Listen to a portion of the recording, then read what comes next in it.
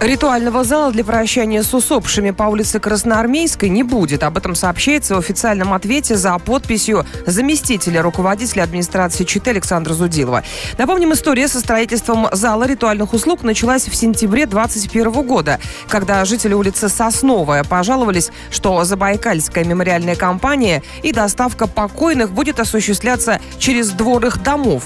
Общественники провели пикет у здания мэрии. Депутат Госдумы Юрий Григорьев направил запрос на имя краевого прокурора Максима Ершова.